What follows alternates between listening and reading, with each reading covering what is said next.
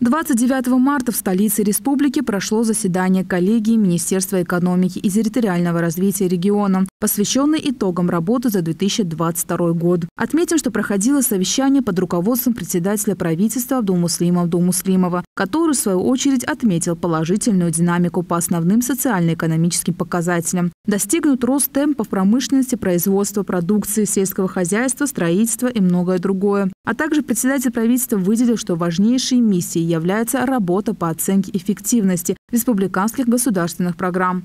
Это очень важная задача, которая сегодня, возможно, в полной мере, э, вернее, недооценена. Программы принимают, исходя из определенных лимитов, подгоняются под наличие средств.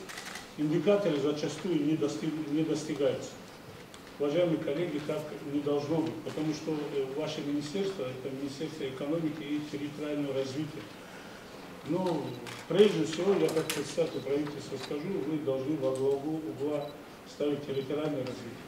Премьер также подчеркнул, что в рамках реализации программы развития горных территорий в 2022 году будет оказана поддержка более 200 заявителям на общую сумму 75 миллионов рублей. У нас 25-27% населения живет, 44% всей нашей территории горы.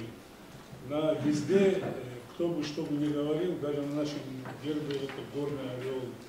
Все он показывает горы.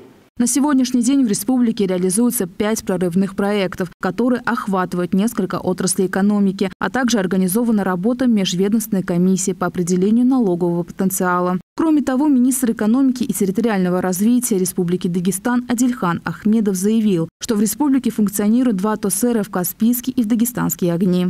В 2022 году обеспечено привлечение э, на ТОСР двух новых президентов. Инвестпром э, на ТОСР Каспийский и Трубопласт на ТОСР Дагестанские огни. В целях повышения эффективности использования земельных ресурсов э, на инвестиционной площадке Уэтаж, привлечение инвестиций, создание новых мест, администрации городского округа Каспийск была проведена работа по изъятию неиспользуемых земельных участков на инвестиционной площадке в целях их предоставления для реализации новых инвестиционных проектов.